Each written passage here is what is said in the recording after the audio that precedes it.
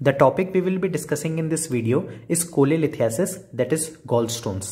Gall bladder के अंदर pathologically कुछ solid pebble like material present हो सकते हैं, जिसको हम लोग गॉल स्टोन्स कहते हैं और इन गॉल स्टोन्स मेनली दो टाइप्स के होते हैं that is either it can be cholesterol stones और it can be pigment stones ये जो टाइप्स होते हैं स्टोन्स के, इनके नाम में ही, इनका नाम ही डिफाइन करता है इनके कंपोजिशन को।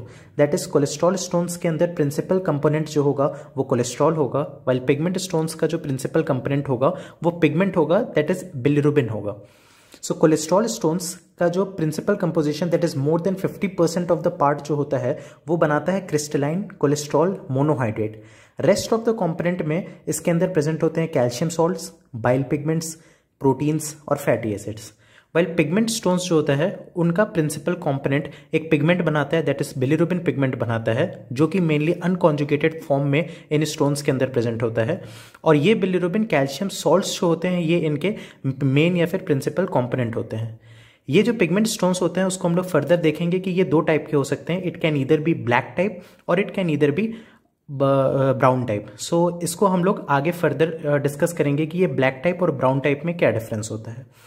So after discussing the types of the gold stones हम लोग डिस्कस करेंगे रिस्क फैक्टर्स इन दोनों types of the gold stones के लिए रिस्क फैक्टर्स क्या क्या होते हैं.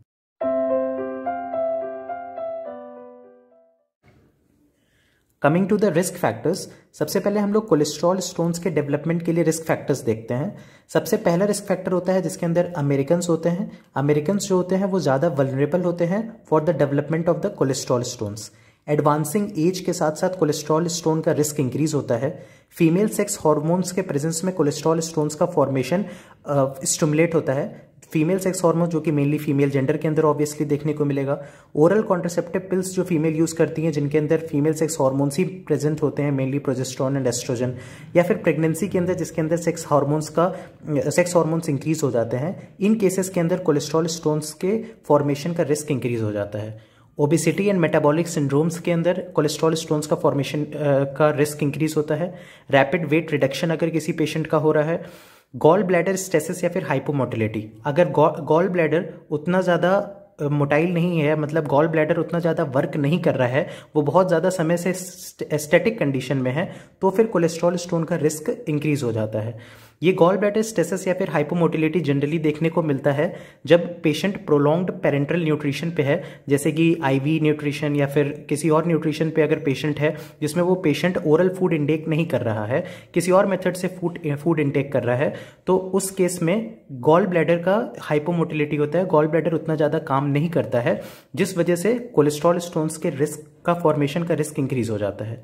फास्टिंग के केस में प्रेगनेंसी के केस में और कुछ ड्रग्स होते हैं लाइक ऑक्ट्रोटाइड इन सब केसेस के अंदर ये गॉल ब्लडर का स्टेसिस या फिर हाइपोमोटिलिटी होता है, जिस वजह से कोलेस्ट्रॉल स्टोन्स के फॉर्मेशन का रिस्क इंक्रीज हो जाता है। Now coming to the risk factor for pigment stones pigment stones के डेवलपमेंट के लिए जो मेनली रिस्क फैक्टर्स होते हैं, इसके अंदर जो एशियन पीपल होते हैं, उनके अंदर पिगमेंट स्टोन का फॉर्मेशन का जो वनरेबिलिटी होता है, वो ज़्यादा होता है। सेकेंड एल्कोहलिक लीवर सिरोसिस के केस में पिगमेंट स्टोन्स का फॉर्मेशन का रिस्क इंक्रीज हो जाता है। बिलियरी इन्फेक्शन के केस में क्रोनिक हीमोलिटिक एनीमिया के केस में और इलियल डिज़ीज़ या फिर इलियल रिसेक्शन के केस में पिगमेंट स्टोन के डेवलपमेंट का रिस्क इंक्रीज हो जाता है। तो ये सारे रिस्क फैक्टर्स होते हैं जो हम लोग को जानना पड़ेगा कोलेस्ट्रॉल स्टोन्स और पिगमेंट स्टोन्स के बारे में। इसके बाद हम लोग डिस्कस करेंगे pathogenesis of both stones coming to the pathogenesis of gold stone pathogenesis देखने से पहले, सबसे पहले हम लोग देखते हैं कि नॉर्मली क्या होता है। नॉर्मली जो होता है, वो लीवर फॉर्म करता है कोलेस्ट्रॉल और ये कोलेस्ट्रॉल का फॉर्मेशन जो लीवर करता है, वो in the form of unilamellar vesicle होता है। इसका मतलब ये हुआ कि ये जो कोलेस्ट्रॉल होता है कोलेस्ट्रॉल का मॉलिक्यूल होता है, वो single layer of the phospholipid bilayer से सराउंडेड होता है। इसे हम लोग कहते हैं यूनिलैमुलर वेसाइकल ये जो यूनिलैमुलर वेसाइकल होता है, वो अनस्टेबल फॉर्म में जनरली सिक्रीट करता है लीवर। अब ये जो लीवर ने बिलियरी कोलेस्ट्रॉल सिक्रीट किया, जो कि यूनिलैमुलर वेसाइकल के फॉर्म में, जो कि अनस्टेबल फॉर्म था, इसके साथ साथ ये लीवर बाइल सॉल्ट भी सिक्रीट करता है, ताकि ये बाइल सॉल्ट और बिलियरी कोलेस्ट्रॉल दोनों एक स्पेसिफिक प्रपोर्शन में मिल करके मिसल का फॉर्मेशन कर सके। और ये जो मिसल होता है, वो एक्चुअली में इसके अंदर क्या क्या प्रेजेंट होगा? एक बाइल सॉल्ट प्रेजेंट होगा कोलेस्ट्रॉल प्रेजेंट होगा और फॉस्फोलिपिड प्रेजेंट होगा। यहाँ से bile salt cholesterol and phospholipid जो कि सराउंड कर रहा है कोलेस्ट्रॉल के मॉलिक्यूल को। तो ये एक स्पेसिफिक कॉम्पोजिशन में ये जो मिक्सचर बना जिसको हमने मिसल कह दिया, इस मिसल फॉर्मेशन का मकसद ये होता है ताकि वो कोलेस्ट्रॉल को ईजिली सोल्यूबलाइज कर सके, जो कि पहले बिलियरी कोलेस्ट्रॉल अनस्टेबल और अन इनसॉल्यूबल था, वो अब सोल्यूबल कोलेस्ट्रॉल में कन्वर्ट हो सके। तो ये लीवर मिसल फॉर्मेशन नॉर्मली करता है, ये नॉर्मल पार्ट हो गया।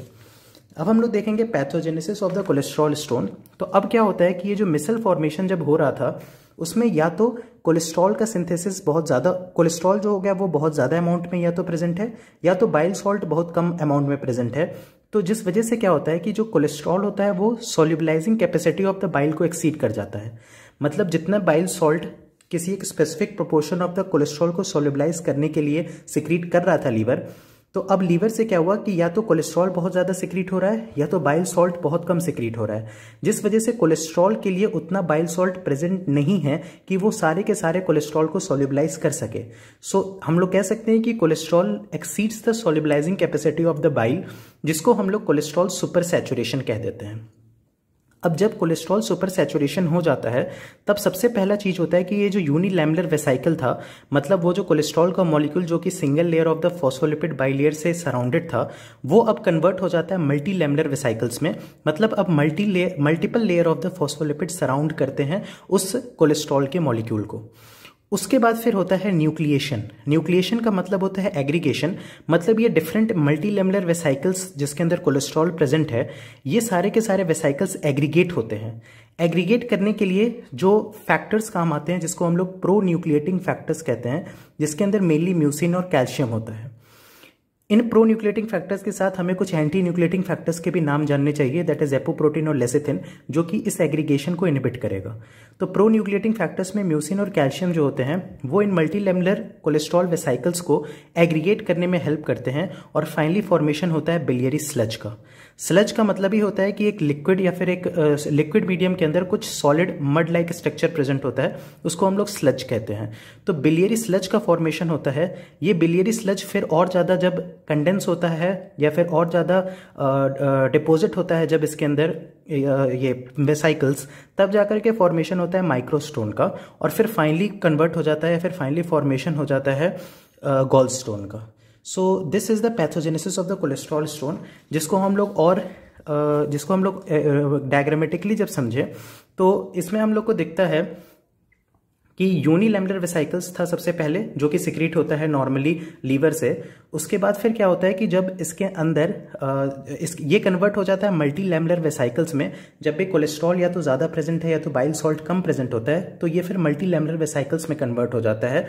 और इसका due to super saturation super saturation हो जाता है जब कोलेस्ट्रॉल का due to decreased bile salt production और इंक्रीज्ड कोलेस्ट्रॉल प्रोडक्शन तो इसको हम लोग कहते हैं सुपर सेचुरेशन नेक्स्ट स्टेप जो होता है, उसको हम लोग न्यूक्लिएशन कहते हैं, जिसके अंदर प्रो न्यूक्लिएटिंग फैक्टर म्यूसिन और कैल्शियम होता है।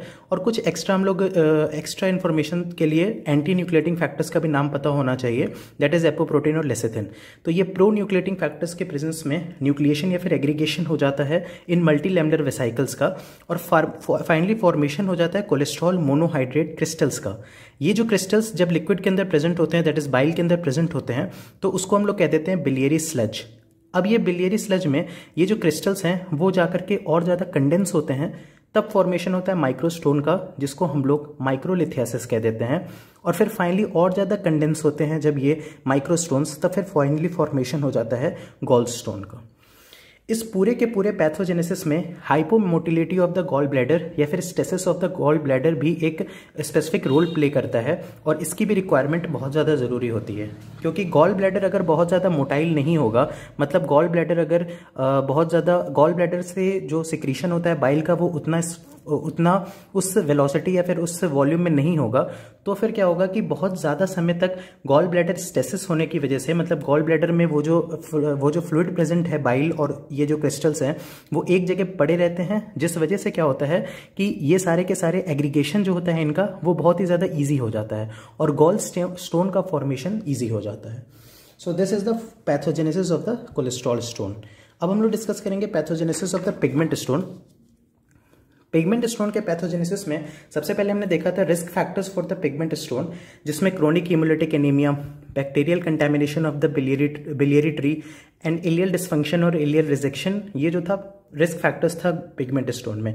एक्चुअली में इन कंडीशंस की वजह से क्या होता है कि इन कंडीशंस की वजह से अनकॉन्जुगेटेड बिलिरुबिन का सिंथेसिस इंक्रीज हो जाता है। अनकॉन्जुगेटेड बिलीरुबिन का अमाउंट इंक्रीज हो जाता है, जिस वजह से ये अनकॉन्जुगेटेड बिलीरुबिन कैल्शियम के साथ मिल करके सॉल्ट बना लेते हैं, जिसको हम लोग बिलीरुबिन कैल्शियम सॉल्ट्स कहते हैं। अब एक्चुअली में ये अनकॉन्जुगेटेड बिलीरुबिन कैसे इंक्रीज हो जाता है, इसमें से ये सेकेंड रिस्क फैक्टर को हम लोग इजीली डिस्कस कर सकते हैं। और फ़र्स्ट को भी, जिसमें क्रोनिक हीमोलिटिक एनीमिया में हमें पता है कि हीमोलिटिक एनीमिया होगा, इसका मतलब आरबीसी का लाइसिस होगा मतलब कि हीमोग्लोबिन का डिग्रेडेशन होगा और बिलीरुबिन का क्वांटिटी बहुत ज़्यादा इंक्रीज होगा। और ये जो अनकॉन्जुगेटेड बिलीरुबिन इंक्रीज हुआ, ये कैल्शियम के साथ मिलकर के सॉल्ट बना लेगा, जिससे फाइनली पिगमेंट स्टोन का फॉर्मेशन हो जाएगा। Bacterial contamination of the biliary tree को भी हम लोग ऐसे ही समझ सकते हैं कि बैक्टीरिया जो प्रेजेंट होता है बिलेरी ट्री के अंदर that is bile that is bile that is common bile duct या फिर गॉल ब्लैडर के अंदर ये जो बैक्टीरियल कंटेमिनेशन हो जाता है तो बैक्टीरिया रिलीज़ करता है कुछ एंजाइम्स को, जिसमें से स्पेसिफिकली वो रिलीज़ करता है बीटा ग्लूकोरोनेडेजेस को। ये जो बीटा ग्लूकोरोनिडेजेस होते हैं, ये हाइड्रोलाइज करते हैं बिलिरुबिन ग्लूकोरोनाइड को। और जैसे ही बिलिरुबिन ग्लूकोरोनाइड का हाइड्रोलिसिस होता है तो अनकॉन्जुगेटेड बिलिरुबिन बहुत ज़्यादा सिक्रीट होने लगता है, उसका फॉर्मेशन होता है, और ये बहुत ज़्यादा present unconjugated bilirubin bilirubin calcium salts बना देता है, जिसको हम लोग पिगमेंट स्टोन्स कहते हैं। तो ये था pathogenesis of the gall stones इसके बाद हम लोग डिस्कस करेंगे morphology of the gall stones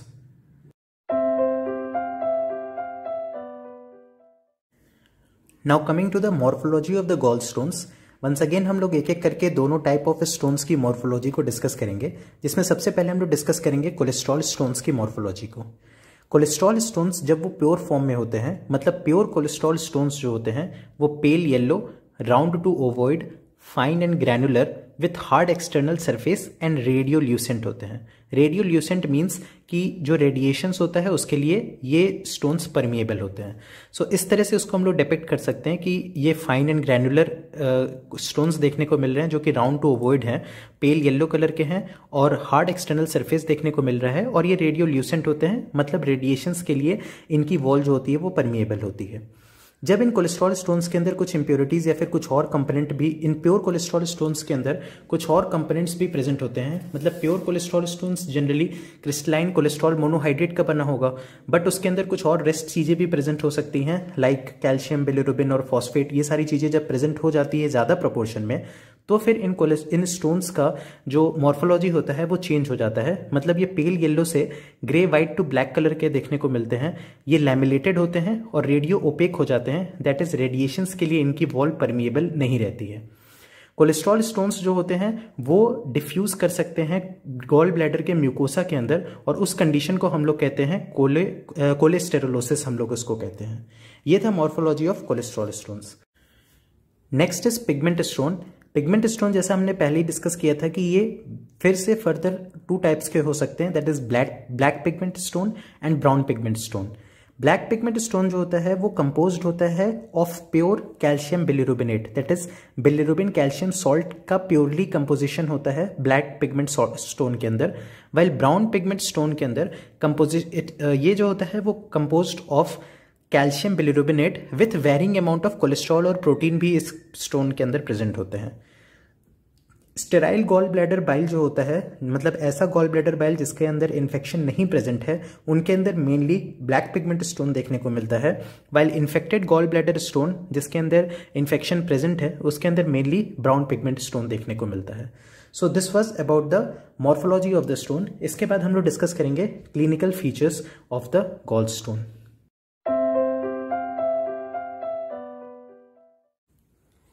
Coming to the clinical features of the gallstone or cholelithiasis, seventy two eighty percent of the patients of the gall stone asymptomatic रहते हैं throughout their lives जिन patients के अंदर symptoms देखने को मिलता है उनके अंदर एक पेन देखने को मिलता है जिसको हम लोग बिलियरी कोलिक कहते हैं। बिलियरी कोलिक एक तरह का कांस्टेंट पेन होता है। It is not a colicky type of pain इसीलिए जो बिलियरी कोलिक नेम है ये एक मिसनोमर है क्योंकि ये कोलाइकी टाइप का पेन नहीं है।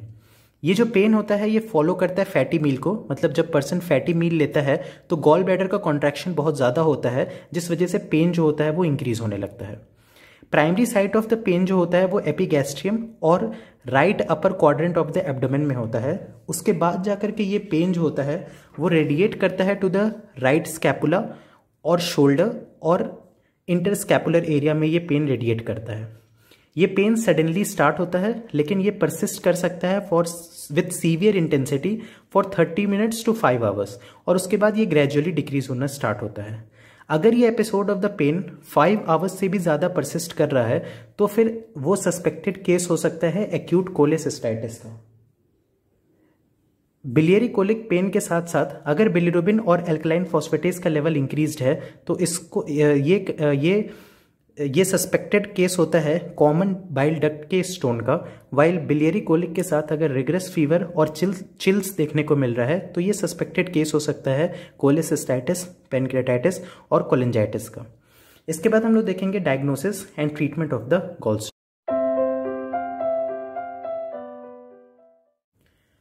coming to the diagnosis of the gallstone, Gallbladder USG is the procedure of the choice for the diagnosis of the gallstone.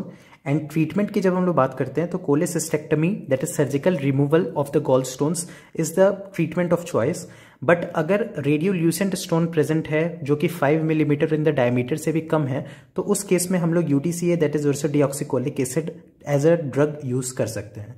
So this was all about this topic Uh, if you like this video, please hit the like button, do share with your friends and uh, subscribe our channel and press the bell icon to get notifications for more such videos.